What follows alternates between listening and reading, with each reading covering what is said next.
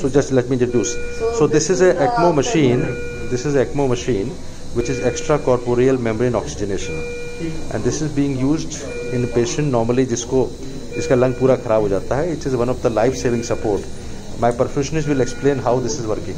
So this is basically the venous drainage line. So this is connected to the femoral vein Uh-huh. through which we are draining the patient and then it is going to the pump. And this pump is pushing this blood into the oxygenator. mm-hmm. These are basically long-term oxygenator which can work up to 35 days or even more days, mm-hmm. more number of days. And then after oxygenation, it is being returned to the patient's IJV. ठीक है तो You can see the cannula on the next side. So That let, is the let me IJV explain again. cannula. So this is basically ECMO, extracorporeal membrane oxygenation. Extracorporeal यानी कि body से बाहर निकाल के हमने ब्लड को oxygenate किया.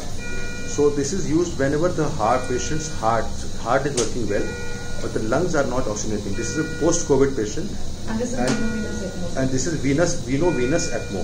We have another type of ECMO which is extracorporeal membrane oxygenation where we do arterial as well as venous. Then the, the, uh, the when the blood goes back to the artery. Yeah. When the heart is not pumping well and the lungs are also not or not good, then we do that. We know arterial, but this is veno-venous. Yeah, so this is actually life saving. And uh, this is Apollo Hospital, New Delhi on 27 September. So I'm giving a small brief message that we do, we are COVID safe and we are doing the best in all patients who are post COVID. इनका COVID negative हो चुका है उनके बाद देखा गया कि lung में फाइब्रोसिस हो गई I am doctor Vivek Gupta cardiologist in Apollo hospital is my follow patient lung में फाइब्रोसिस हो गई then we have to do this and till the lung comes back, which is quite likely, I'm not saying 100%, but till the lungs come back, we can keep the ECMO for at least two weeks. More than that, sir. More We than can that. keep it for four weeks also. Ah, So this is in Apollo Hospital Delhi. We are doing the best patients and care, and I can vouch. I'm working there for last almost 20 years. That we yesterday we did intra-aortic balloon pump, and then we did bypass surgery today done. And this is a patient where ECMO can be a life saving. So I'm Dr. Gupta on 27 September along my along with my team.